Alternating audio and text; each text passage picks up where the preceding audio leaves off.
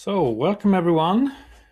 Welcome to Brandforsk and our result webinar presenting the research project Fire and Explosion Hazards of Alternative Fuel Vehicles in Tunnels. My name is Mattias Delin and I'm the research director of Brandforsk, the Swedish Fire Research Foundation. Yes, I think there are a, few attendees still uh, logging into the system, but I think that we will we will start. And um, so, uh, Yingzhen, would you like to present yourself a bit? Yeah, thank you. Yeah, I'm Yingzhen Li. I'm working as a senior researcher at the RISE Research Institute of Sweden since 2010. And uh, my main research interests are in fire safety in tunnels, and the fire and the explosion safety of alternative fuel vehicles, and the scale modeling and the CFD modeling of fires. Okay. Yeah. Yeah, that's very good. And we will see more of you in a while. We'll we'll first see your presentation about this project, and then we will have some time for for uh, questions and discussions. So just a few words about Brandforsk. Um, we have a vision. We work for a fire-safe society built on knowledge. We develop and communicate knowledge, mostly research, and to limit the negative consequences of uh, fire in the society. We started in 1979 and we are a foundation since two years ago. We have supporting organizations that fund everything that we do, and uh, this makes us a collaboration between many parts of the society. And so far, we have raised about uh, 600,000 euro, and I hope that uh, we will uh, get some more money before the end of the year, and and hope that some of you also will consider uh, supporting us.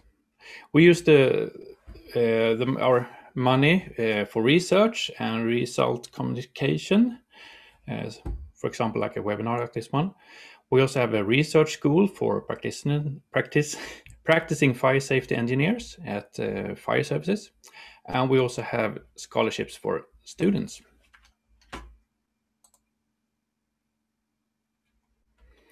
Uh, and these are our supporting organization, and it's thanks to them that we can do this. And um, uh, we have, as I said, about 600,000 euros so far this year. We hope for more, and uh, please support us if you not already are.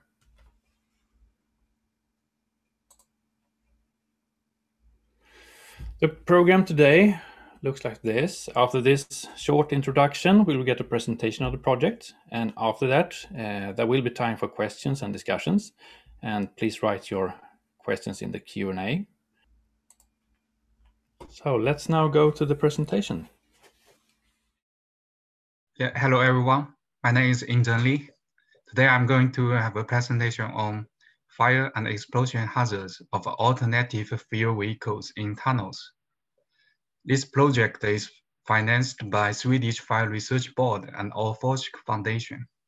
So really thanks.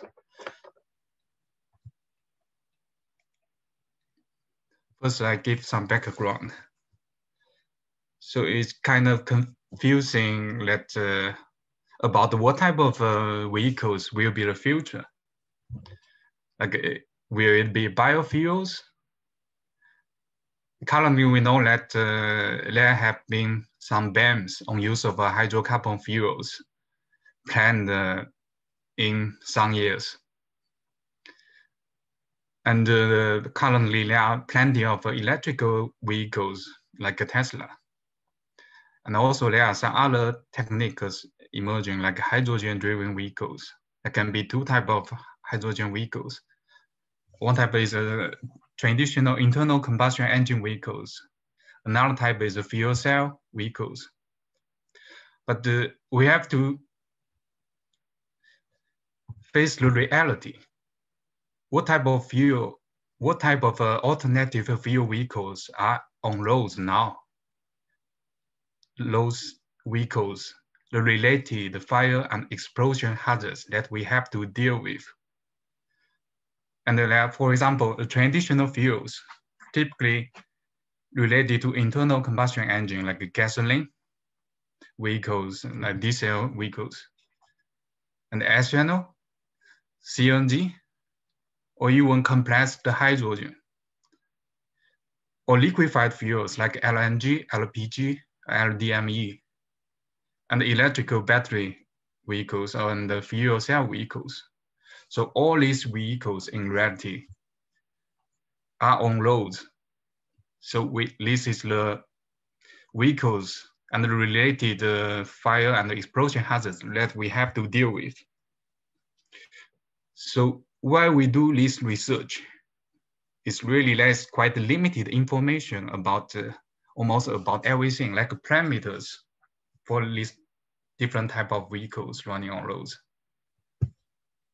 Like how the amount and uh, how is the configuration and the fire hazards, what type of fire hazards and what type of explosion hazards that may be involved in an incident related to this type of vehicle. So in this project, we focus on the safety in tunnels. The reason is that uh, we know that in confined space, these hazards can be more severe due to the special space. For example, the blast wave attenuate more slowly, or you may say it can trans, travel longer distance. Okay, first uh, we need to understand or get some information about uh, this type of vehicles. So the first type is the CNG vehicle. It typically operates at a pressure of 200 bar and at normal temperature. And uh, for the safety reasons, yeah, they, they are typically equipped with pressure relief device. The abbreviation is PRD. Reason is that in case of an incident, for example, in case of a fire, you don't want to get the tank uh, burst. So we want to release the gas according upon some criteria. Like typically the criteria is a temperature of 110 degree and the pressure of 340 bar. So when the temperature of the PRD reach this level, it will will activate so the gas can release so the pressure will not uh, build up the high pressure. Will not be to build up uh, inside the tank. This is to avoid the burst. And uh, for the vehicle for personal vehicles and like the commercial vehicles this is the amount of fuel for the vehicle. 11 to 37 kilogram. Typically it has one to five tanks and for each tank, the amount of fuel is in a range of 10 to 20 kilogram. And for buses, is much higher. You see the values here. And for each tank, is around 20 to 50 kilogram. So you see there are plan several low tanks for one bus. And for trucks, yeah, the parameters are similar.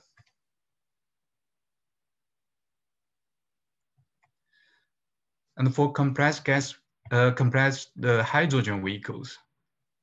I mentioned that there are two types of internal combustion engine vehicles and also for fuel cell vehicles. The pressure is even higher.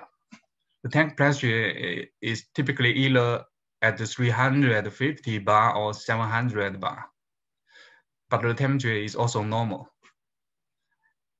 As there are not so many this type of vehicles that are on roads or on markets, the parameters, what I have found is the amount of uh, fuel is not uh, that large, is between 2.4 and 6 kilogram. But in the future, we can expect if these type of uh, vehicles become mature and really put widely used, uh, then probably the fuel amount need to be much larger. Otherwise, it cannot drive for long distance. Another type of LNG, liquefied natural gas. The natural gas is stored in liquid form and is mainly used for heavy duty vehicles. The operating pressure is much lower, 4 to 10 bar, but the operating temperature is much, much lower. also much, much low, in minus 140 degree to minus 136 degree. The activation pressure for PRD is in a range of 15 to 30 bar. So we also get the parameters for this type of uh, vehicles. The tank is much larger. Typically like one truck has like a two tanks and each tank it contains a lot of uh, over 100 kilogram. And you can up to 450 kilogram in total for one truck. And uh, we see the temperature is really low. So these tanks should be some kind of a cryogenic tanks. Typically the number is one or two. And for liquefied uh, propane gas, in reality, it has been used for a while, since the past uh, year 1970s. Its operating pressure is also quite low, 8 to 10 bar. And the special thing here, you can notice that operating temperature is normal compared to the LNG, it's minus 140 degree. The activation pressure is similar at around 32 bar. And the LPG, the fuel tank is similar to like a gasoline. You may say personal vehicles, 50 to 100 liters, and trucks can up to 400 liters. There are also other type of uh, liquefied fuel like LDME and LH2, uh, liquefied hydrogen here. And LDME is very similar to LPG. The LH2, the hydrogen, the operating pressure is also low around 5 bar, but the temperature is pretty low, minus 252 degree. The activation pressure is around 8 bar.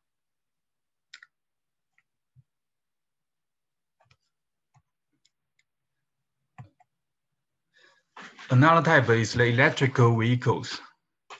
There are really many lithium ion batteries. This is a list of the battery types. Yeah, a battery typically consists of a cathode, anode, and electrolyte. And the electrolyte consists of solvent and salt, such as LiPF6. And there are also many different types of solvent. It's listed here. From the combustion point of view, the flammable solvent is typically around 12% of the total mass. And the typical heat of combustion is 16 megajoule per kilogram. For batteries, a very severe problem is the thermal runaway. So if something goes wrong in the battery, the temperature can rise. And when it reaches over 150 degree, or slightly higher. It goes like run away, so that is kind of out of control. So it, the battery will vent out a lot of gases due to the chemical process, such as hydrogen, and even hydrogen fluoride. Hydrogen is really a big issue. It can easily cause self-ignition. So you really, you don't need the external source. It can self-ignite it vented gases. For personal vehicles, another characteristic for EV is that the battery pack is really heavy. Like personal vehicles, it can up to 540 kilogram. And for buses, it can be 2.5 tons. Trucks can be 3.3 tons. It's only, this is the weight of the battery packs. Okay, now we have obtained some information about the different type of uh, alternative fuel vehicles. Um, we may want to see from a safety point of view, what would be the consequence in case of incident related to such vehicles. On the left, the first picture is a, a test of an LNG pool. The LNG pool has a diameter around 100 meter, and the flame length is around 300 meter. So it is really huge LNG. You may say, like natural gas, why natural gas? It appears to be like a pool fire. Reason is that LNG, when it leak out, part of the fuel will immediately evaporate, but still a large amount of fuel will remain in liquid form at a very low temperature.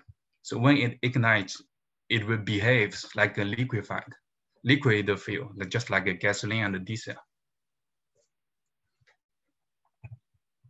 And the, the special thing is that the heat, the fire size, the fire intensity, like per unit area can be quite high. And we will do a more detailed analysis later.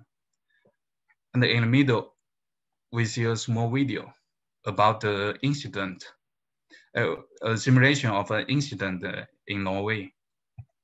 So it's a truck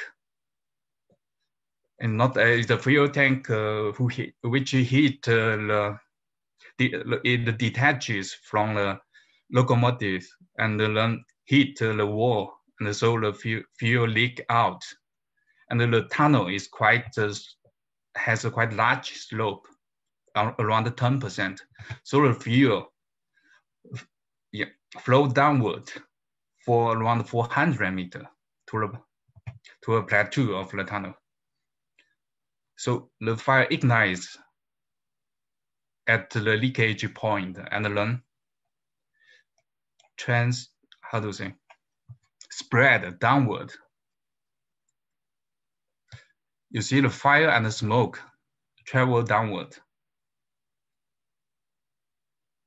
The fire size was estimated to be around 400 megawatt. A lot of a contribution comes from the spilled liquid. And on the right side, I put it beside. Okay, we can see it's a LPG fuel tank, a large tank, and there was fire outside. So when the tank was exposed to fire. Yeah, it, it increased the temperature and the pressure. Anyway, the PRD operates. So it is a jet fire, jet flame there.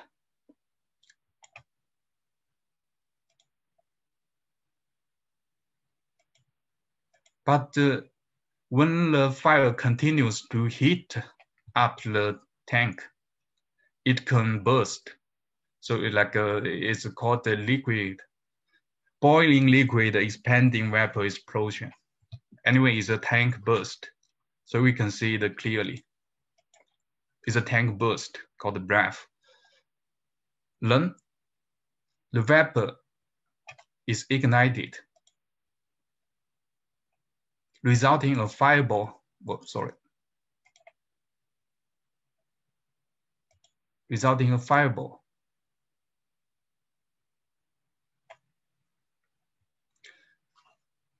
So there are three phenomena involving like it's a jet fire and the BLEVE and the fireball. So typically, the fire hazards is kind of a spilled pool fires, jet fires, and fireballs. And for explosion hazards, can be like a compressed gas tank can rupture, and also liquefied tank can also rupture, but it has a special name called the BLEVE. And also, if the gas released is pre-mixed with air, then later it, it is ignited by a source, then it can, or by itself, can form a gas cloud explosion. Another example is the Klara tunnel incident in Stockholm. It's a CNG tank.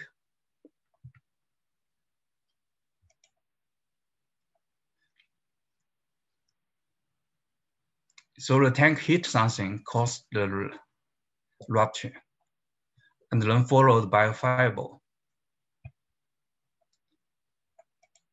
Then later, the whole bus was involved in the burning.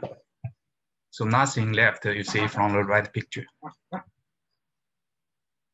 So such an incident is quite complex. It starts from tank rupture and followed by fireball and then long-lasting fires until all the fuels burn out. So typically we, we may make a, like an event tree. This is an example for qualitative analysis. A compressed gas vehicles. Of course, of course, the best thing is that uh, the fuel tank is not involved in the incident, so nothing happens. For example, it starts at other parts of the vehicle and gets suppressed by firefighter. But in case it doesn't, so of course we hope that uh, the PRD works, then the gas is released continuously. So it kind of uh, uh, control the case. So if there is an ignition, it can be a jet fire. But if, like a Klara tunnel, it has uh, caused a large hole on the tank, it, it can cause an instantaneous gas release. If there's no ignition, it's only a tank rupture. But if there is an ignition, it can be rupture and fireball. After release of the gas, for whatever type of release, like instantaneous release or continuous release, if these fuels are premixed with air and ignited later, then it can cause the explosion. The most common one is the deflagration. And in a tunnel, due to the long traveling distance of the flame, a deflagration can even become a detonation.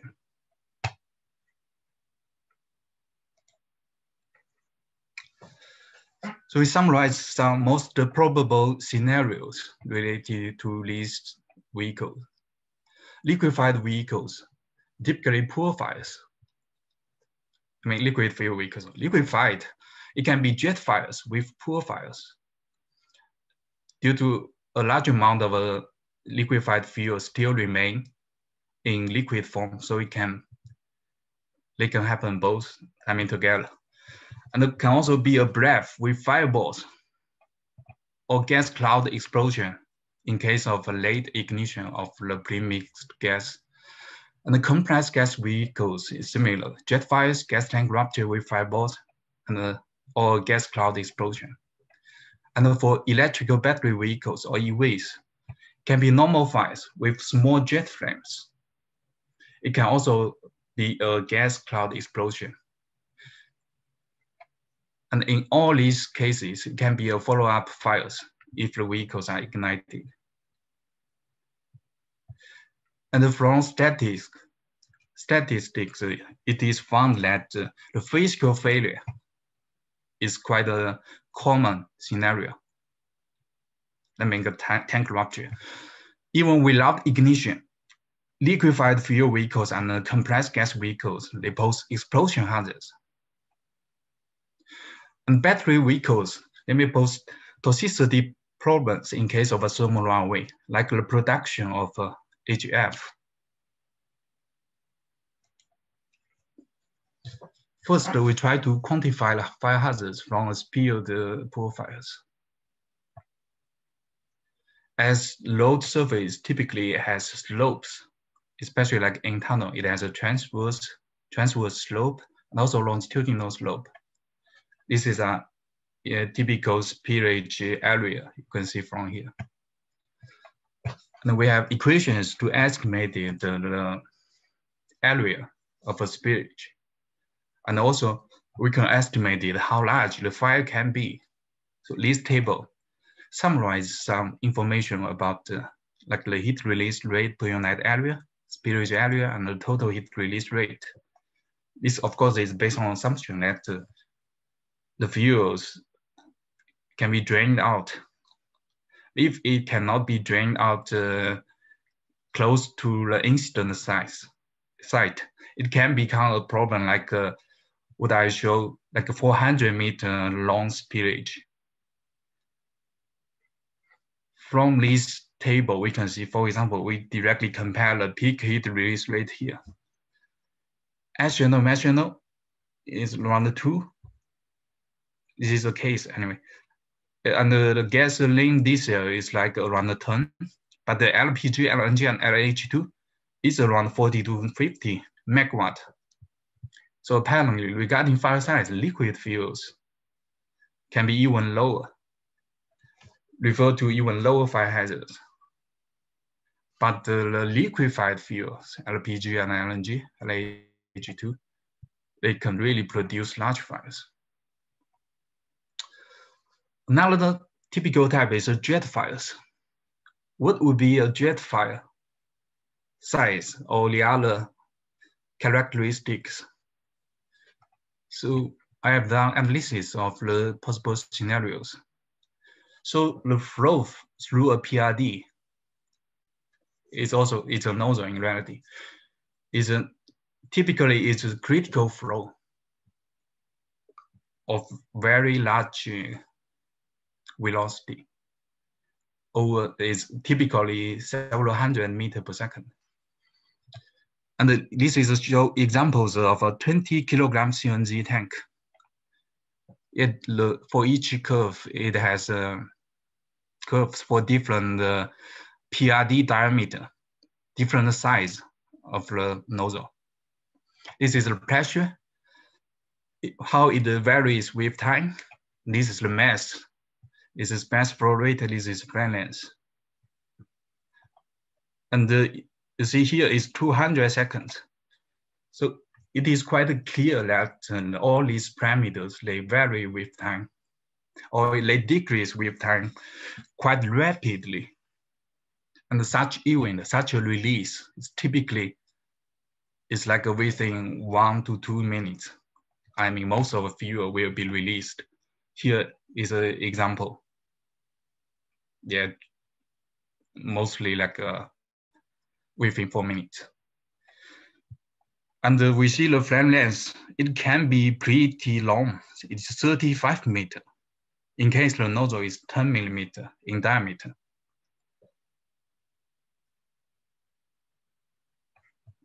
So such a long flame, yeah, we can imagine it may cause, it may impinge onto vehicles next to this the incident vehicle or may cause problem to a structure. So the main conclusion here is the flow is critical flow or choked flow. And the, the PRD diameter is a vital parameter for the release behavior. And the parameters rapidly decrease with time and yeah, so the duration is very short. What happened? So here, give a table for other type of uh, compressed gas tanks, but also including the CNG tanks. And here, liquefied fuel tanks, it is a little bit different. So if the PRD nozzle is on the gas side, if on liquid side, so the, scenario will be different. So the main conclusion here is that the, the fire size is really large for the compressed gas tanks com compared to the liquefied fuel tanks. And also very long flame length, it can cause a problem due to impingement and extension of the flames. And the flame length is proportional to the PRD diameter, and there is high risk for fire spread.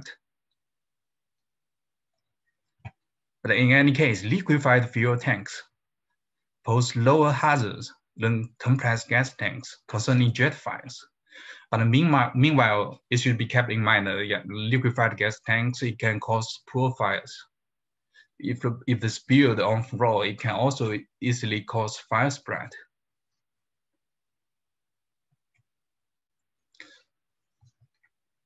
The third phenomenon related to fire hazard is a fireball. The fireball is always followed by a tank rupture. So on open loads or in the open, there are correlations to estimated how large the diameter of the fireball and the duration of the fireball. And uh, I conduct a theoretical study and to estimate the fireball length in tunnels. So it indicates how long the fireball can be in a tunnel. For example, here, we compare the fireball diameter in the open and the fireball length in a 50 square meter tunnel. You see here, after around five kilogram, the fireball length is higher or even is larger than the fireball diameter in the open. And it can be really long, significant longer fireball length in tunnels.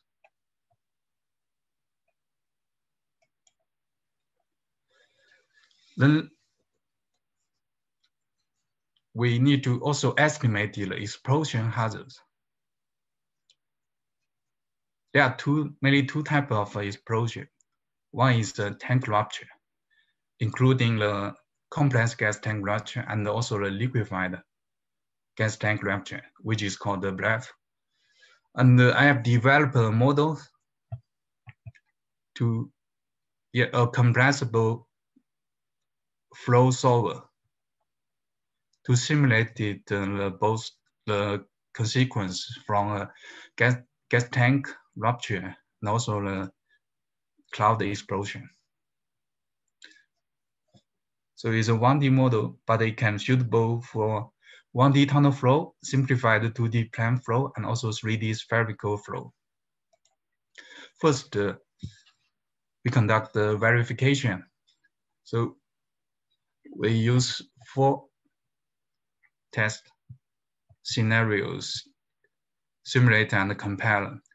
The first one is a, a closed uh, 91.4 meter long natural gas tube with this diameter. They inject the natural gas, gas into it and see the pressure wave changes. Oh, so you see the line are numerical results. They correlate quite well.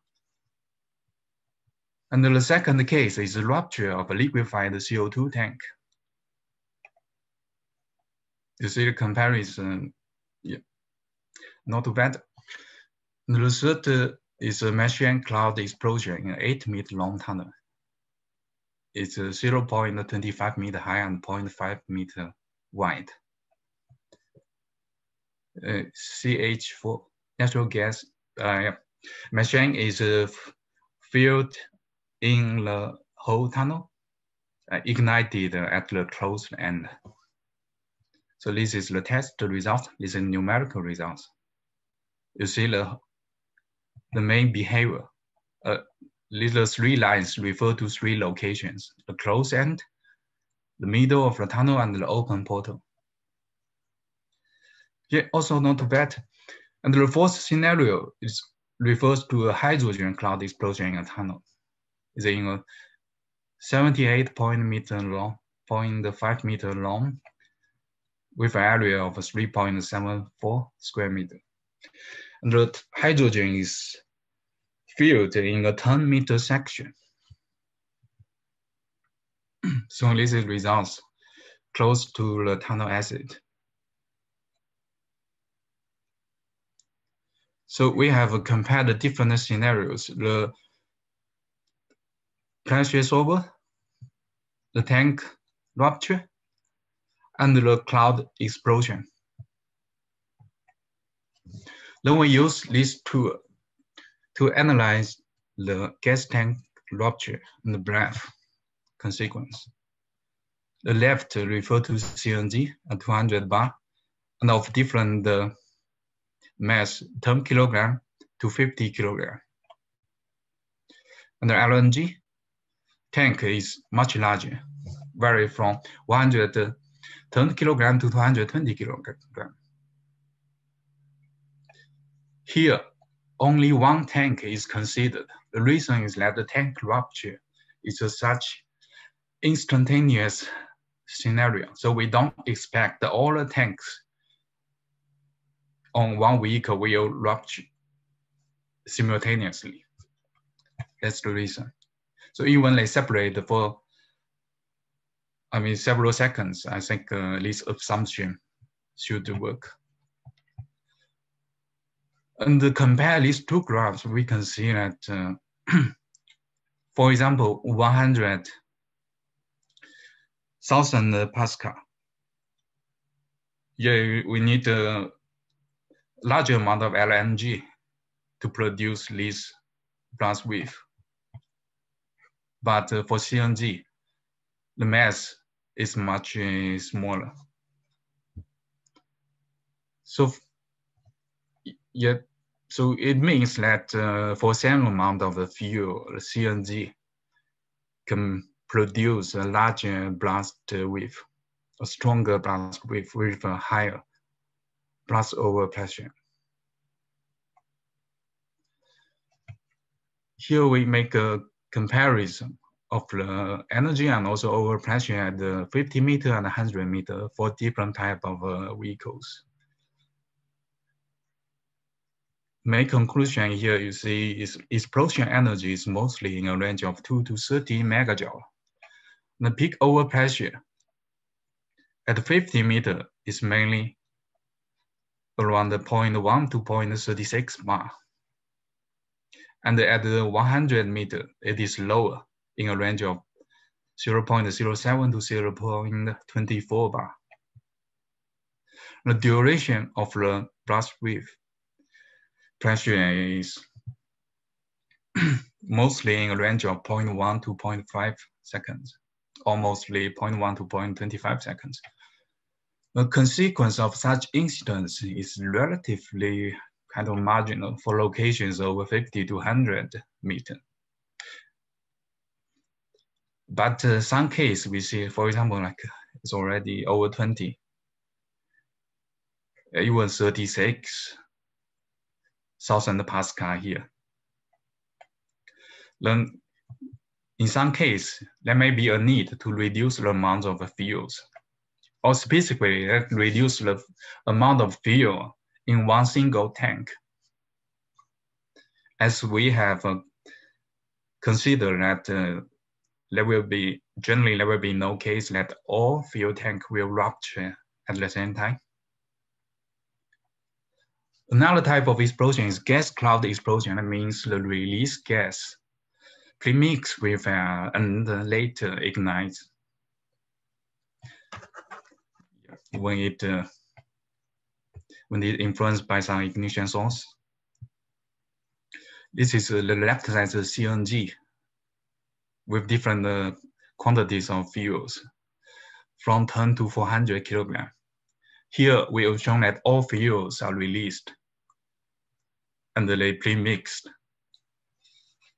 And at some moment it uh, ignites.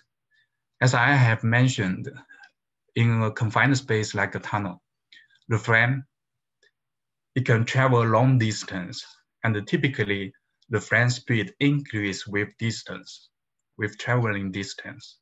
And at some point, the combustion will become a detonation. Before the detonation is this type of combustion, although it's quite a faster speed, it's called a deflagration. But at some point, for example, over 1,000 meter per second, it can kind of uh, similar to like thermal runaway, it can become a detonation. We see here, when the fuel is above 160 kilogram, it can become a detonation at around 45 meter or at around 50 meter. The, the bottom one is just uh, this part of uh, figure make it bigger to see more clearly uh, for the smaller amounts of uh, CNG. But uh, we can simply have the feeling that uh, the blast wave pressure is much higher than, than tank burst. And here is LPG we also make a conservative uh, assumption here. So the fuel involved in combustion include uh, both the flash fuels, that means the instantaneous evaporated fuels, and also the aerosols and spray sprays. So typically when we do an estimation for LPG, yeah, we use somewhat higher amount of the flash fuels due to the consideration of aerosols and sprays. And for a battery, we assume all solvents yeah, have been released. So, and involved in the combustion. So this is the results. So you see CNG for a maximum, or you may, or oh, you may say the, the vehicles that exist on roads, it can up to 32 bar, and for LPG can up to 8 bar. For battery, it can up to 12 bar. In ready, yeah, they are pretty high.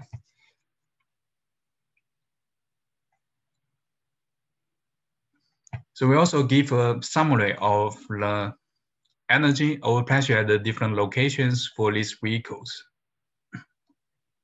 In case of a gas cloud explosion, the energy explosion energy is mostly between 0.2 to 23 gigajoule, apparently much greater than the energy from a tank rupture. The peak overpressure is mostly between 0.15 to 11.2 bar at 50 meter, and 0.15 to 18.5 bar at 100 meter. Duration is similar. It's mostly between 0.1 to 0.5 seconds. And the consequence of such incidents is quite clear that uh, they are not tolerable over 50 to 100 meters, and even for the whole tunnel. Of course, we need to, to keep in, in mind that uh, we assume that uh, all fields are involved in the stoichiometric mixing. But uh, it is still surprising that the blast overpressure is so high for gas cloud explosion related to such vehicles. And so that can be a need to reduce the amount of fuels. For example, maybe we can increase the number of tanks. So in each tank, the amount of fuel is less. So we may not always assume that uh, all tanks will fail or at the same time. So we can reduce the risk. Or for battery vehicles, we may strictly prevent fire spread to other battery modules. So to, pre to control the, the space or the region of the number of battery that involved in a thermal runaway or involved in a fire incident.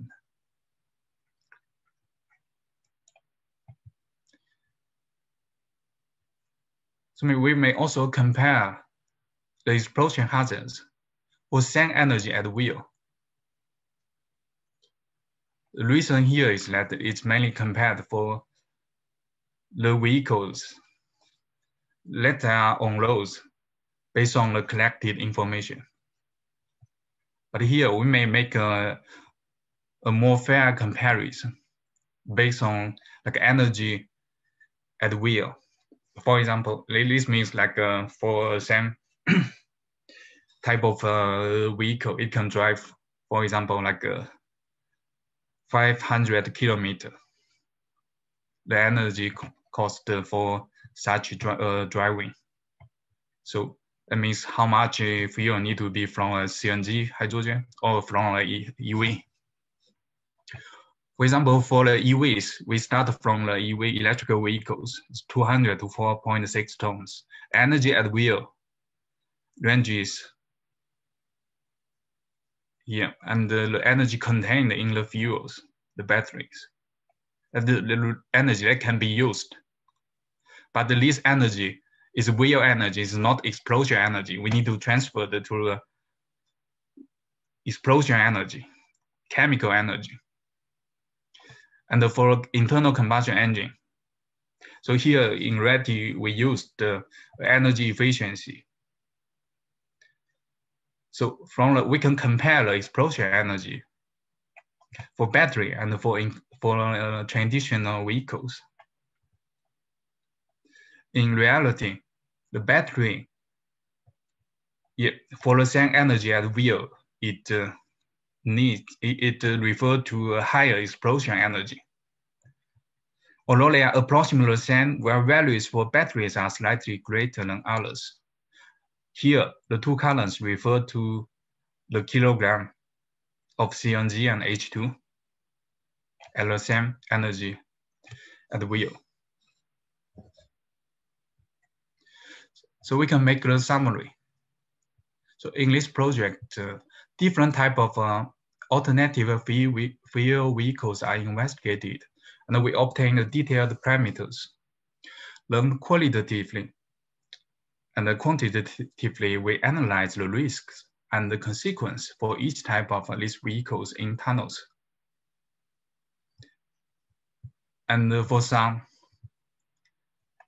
yeah, we can also draw, draw some like simple conclusions, like liquefied fuel tanks produce large spill fires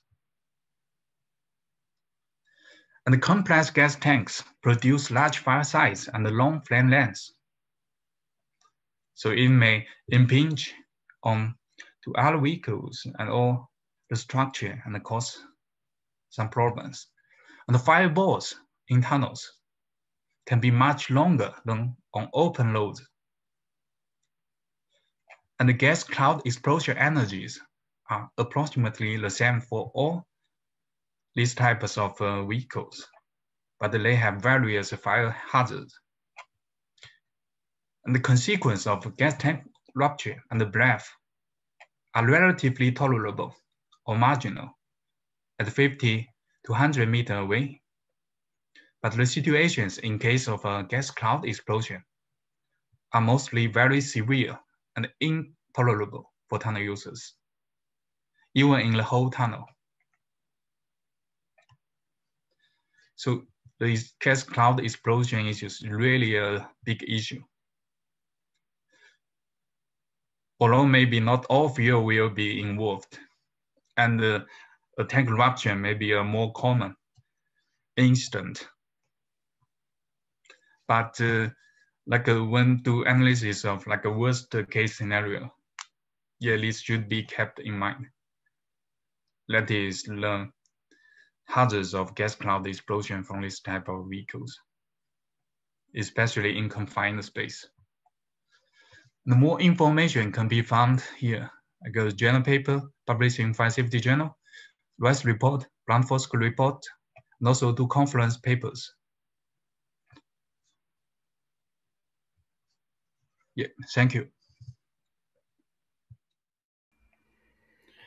Thank you very much. Very interesting. Uh, we have a few questions already. Um, and uh, the first one is about this uh, PR, TRPD, thermal and pressure relief device.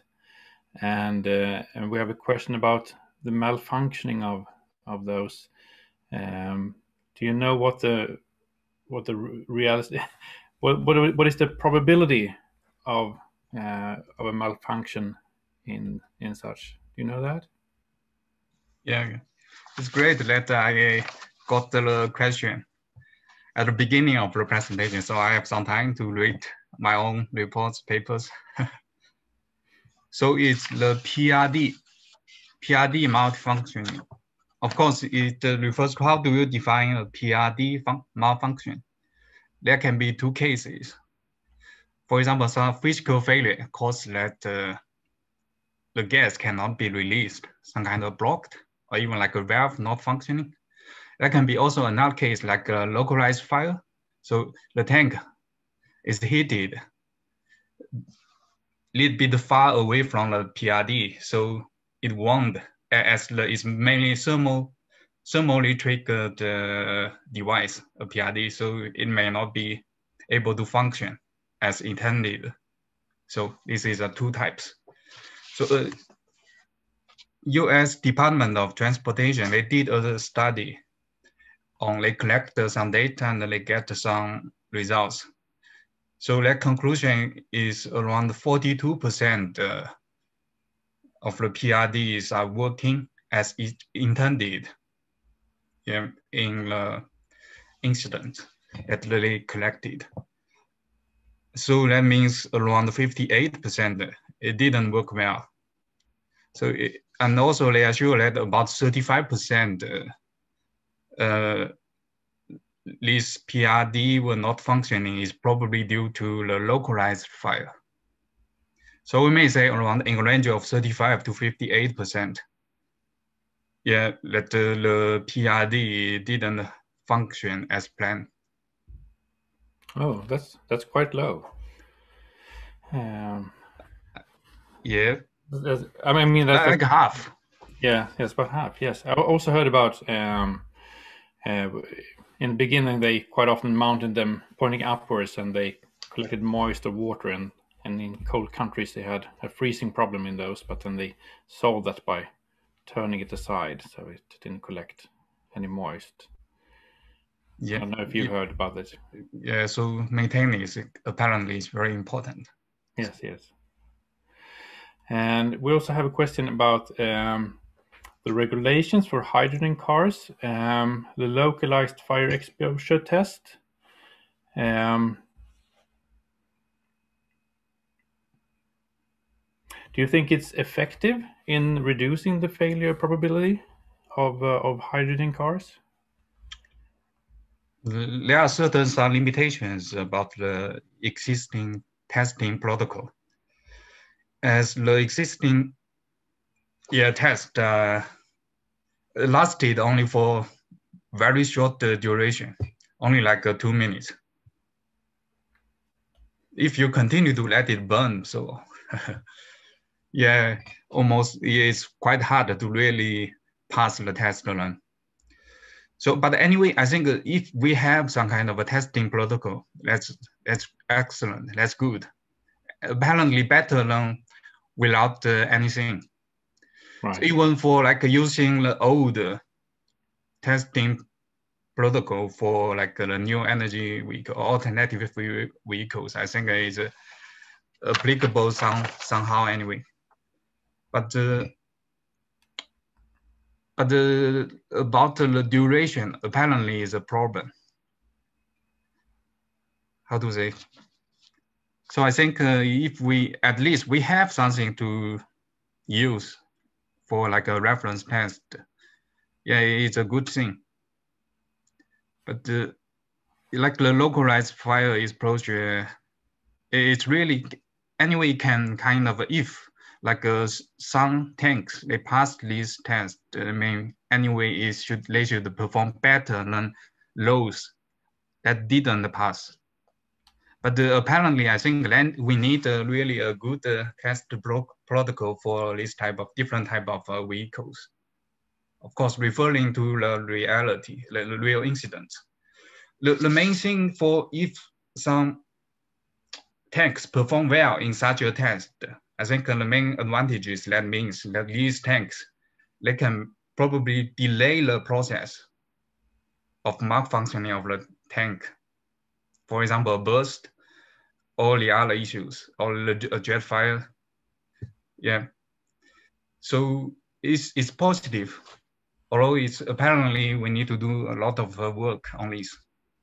Yes, yes. Thank you. Um, a few more questions. Um, well, uh, we have a lot of questions here, and and some of them are concerning um, uh, similar things. Actually, uh, we have one thing about the flame speed, and you talked about uh, the risk of the the deflagration turning into detonation in a tunnel when you have a and a turbulence and, and, a, and a very long distance for the flame to propagate. And uh, can you develop that a little bit more? Uh, maybe give some practical tips on how to handle that when you, for example, do a risk analysis in tunnel? Yep. Yeah, about the gas cloud explosion. Like uh, if it's in the open without any obstructions, is uh, easier, like an ideal case. But in reality, in like confined space like the tunnels or even other like underground garage, there are many vehicles. Yeah, yeah, you can regard them as like uh, obstructions. It can really have influence, strong influence on the cloud explosion. Uh, cloud explosion, it uh, of course it, it uh, we know that it uh, it needs some kind of ignition source. After it ignites, at the beginning, the speed is like laminar flame speed. Yeah. But then later it can develop after like impinge or pass by obstruction, the turbulence can increase. So the local flame velocity can be increased. So the flame speed, if there are enough fuel in that uh, cloud or region, then the flame speed will increase continuously. Especially in tunnel, the flame speed uh, increase quite rapidly. How to say, much more rapidly compared to like uh, in the open.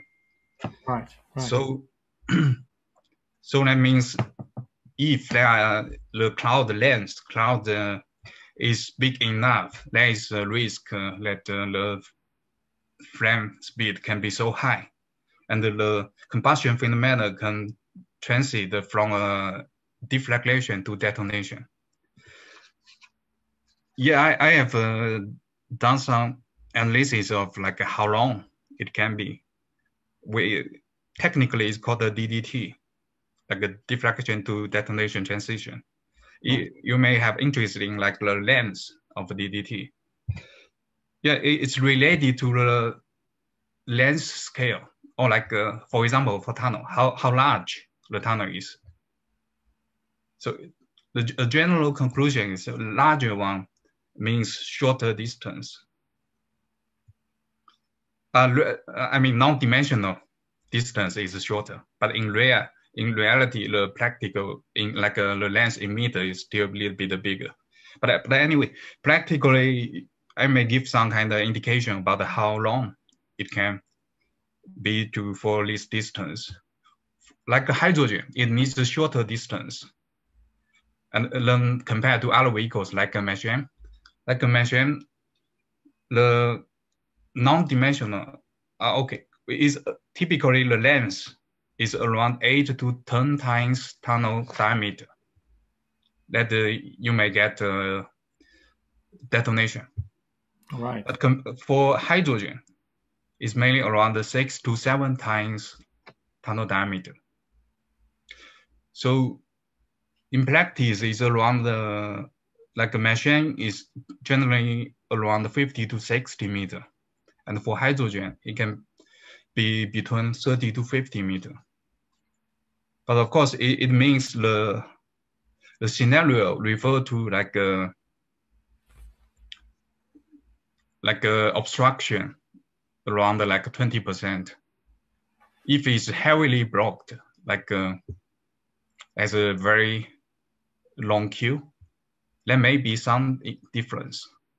But, but anyway, this phenomena is really quite a local phenomena. So it related to the obstruction, how large the block uh, obstruction is and uh, how they were distributed uh, in the region or in the traveling paths of the flame. So it's mainly the key is the turbulence really, which really stimulate the combustion, which really force the transition from a deflagration to detonation. But, but anyway, this is a risk that you really need to consider. Yes, right. Thank you. And um, um, you touched the subject, and I've been thinking about the differences between uh, CNG, for example, and hydrogen gas. You showed in your um, the overpressure test that uh, when you had uh, a cloud explosion, the, the pressure peak in the hydrogen gas was about 30 times the pressure peak of the of the CNG. But later on in the, the comparison of explosion hazards, you had very small amounts of hydrogen, and you also mentioned that. So, um, if one should compare those different gases, and how would you like to scale them? Uh, you just mentioned that hydrogen needs a shorter distance to go to detonation.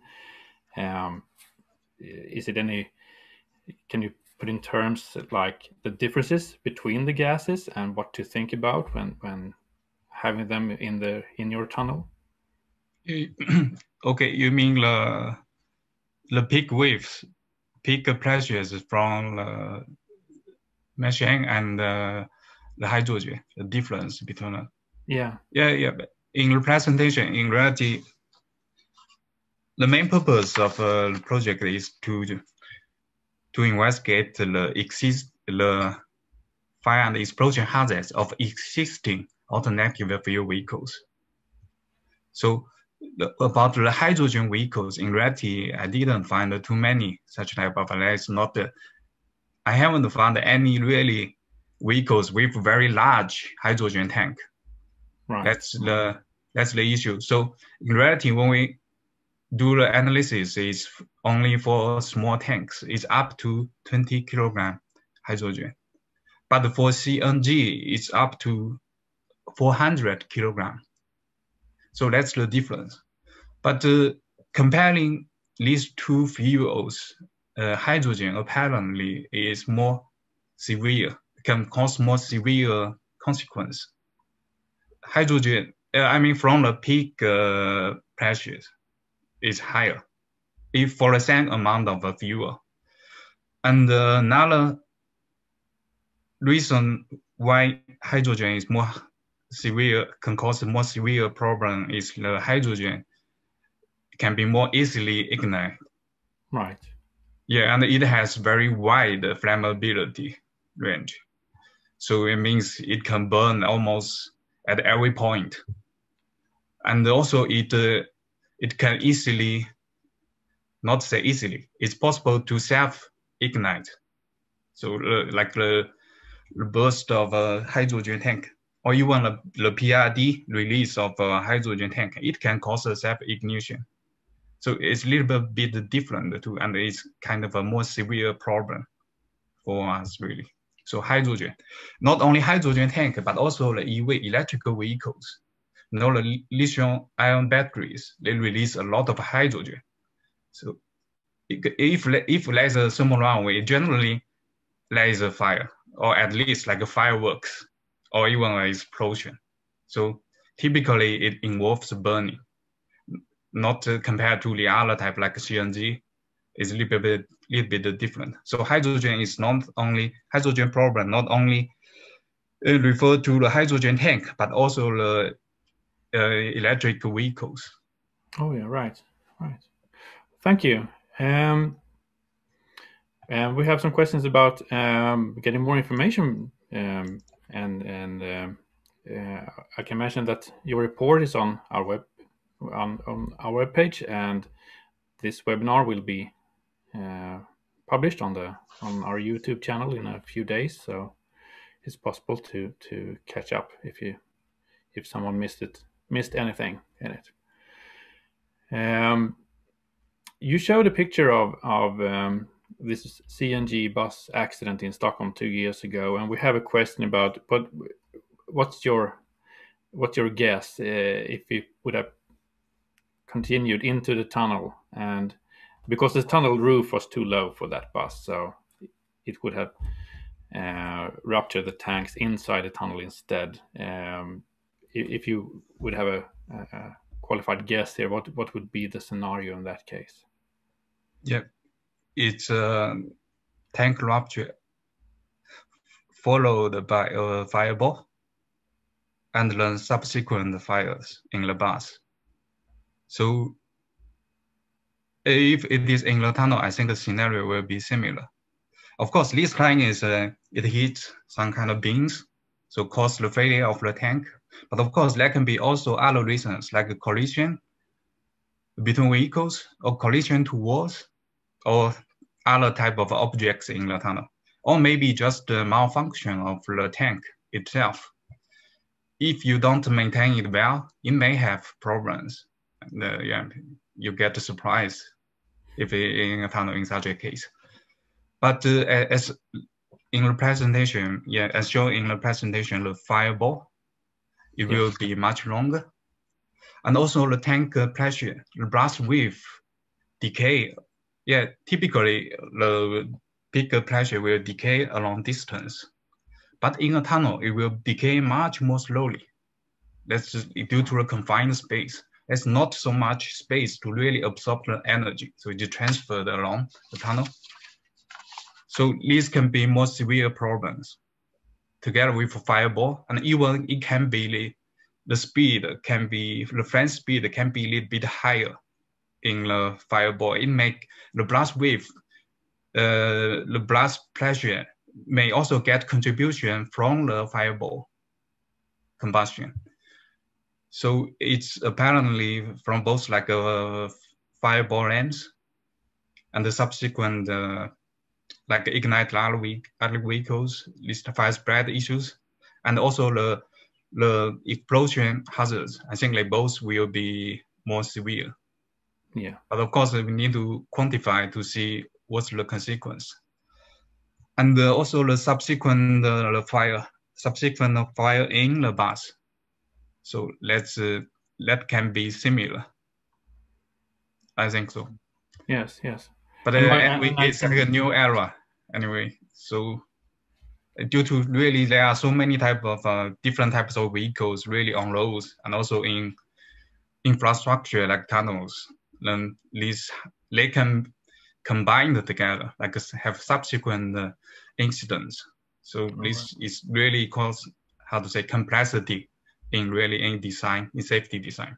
Yeah. Yeah, and, and yeah, and I can add to to about that accident that the only one that was in that bus was the driver, and he he luckily escaped because the fireball started inside the bus and and and and turned the doors open, so he could escape. And and uh, maybe if the bus would have been inside the tunnel, his escape route would have been probably be much uh, much worse. So yeah, good point.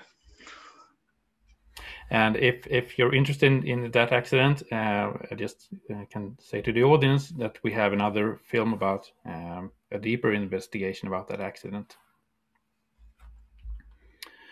Okay, let's see if we have uh, time for any more questions here. Um, uh, there are questions about your experimental data and uh, more um, more information about your work and and and um, we also have an uh, email address here. So so you can get connected afterwards and to discuss this even more. That's very good. Yeah, yeah. I think I will communicate with Anas. Very good. Very good. Yes. Um, okay. Do you think we, we have a question here about the the, the tunnel construction itself? Um, do you think the the pressure waves, for example, and the temperatures may they affect the, the the tunnel, or or is the risk mainly towards the people and the other vehicles in the tunnel? You mean for which type? For for example, a fire or explosion of a of a larger vehicle inside the tunnel, would it be a threat to the tunnel itself, or do you think it's more a threat to the people inside it? Yep, I think uh, like uh, the jet flames may, for example, if you have a site, uh, your the nozzle, the PRD nozzle is towards the the side of the wall of the tunnel, so it may really uh, has uh, the temperature there is really high, can easily over thousand degree. And also, if it's a large CNG tank, you know, nozzle also need to be large, or you have several nozzles. That means very long flame length. And also if it is side towards the side, it may can it can easily ignite the vehicles besides anyway. So the fire spread issue can be quite significant, no matter it towards the size or towards the, the ceiling of the tunnel. And uh, yeah, so jet flame, of course, the duration is short, so I think the main hazard is the, the fire spread from such uh, large and long jet flames. It, it, creates a very high radiation towards the surrounding vehicles and also the structure, although it's short, but uh, it, it, mainly causes the fire spread and can like a cascading effect uh, here. Oh yes, of course. Yes. Yes, we have. Yeah, well, one one question about um, you have been looking into tunnels, and um, they usually have two open ends. Uh, but if you should compare this to a garage, for example, um, uh, which maybe just have one opening, do you think the, the results would be different in any way? Likely, explosion is kind of a transient behavior. So it the opening, like uh, if the blast wave didn't transport to the opening, before that uh, that moment, uh, yeah, the, it didn't uh, affect too much. The opening that the boundary condition does not affect the blast wave really. But uh, of course, the just like the difference between the the case in a tunnel and in, in open. If it's in the garage, it's more like a like a tank rupture. It's more two-dimensional phenomenon. So the scenario will be also be different. But so it, it's kind of a scenario between the open scenario and the tunnel scenario. Okay, so it, so it has a, its special characteristics. I think so. Okay, thank you. So uh, they are to be investigated separately. Um, yeah, yeah, that's right. Yes. Okay, thank you very much for the all the good questions, and uh, thank you for all the all the good answers. Thanks, Anne. Thank you, thank you. It's quite interesting questions. Yeah, I think so too. Yes, a very interesting topic, and I think uh, much more uh, will be done on the topic. So, uh, looking forward to that. So. Yeah, you need to finance more projects on this topic. Yeah. I'll do my best. I'll do my best. Thank you very much, Yingzhen. Uh, just going to wrap things up a bit and give you a tip about um, uh, uh, another presentation to look at about this of the CNG bus. So.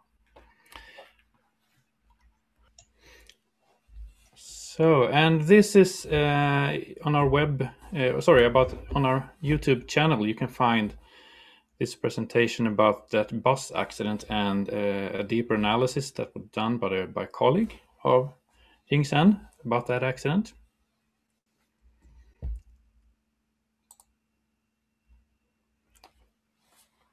And uh, if you want to attend more Brandforsk webinars, you can find them at our web website uh, or by following us on LinkedIn, or you can register to our newsletter and you will find that at the bottom of the website where you can register.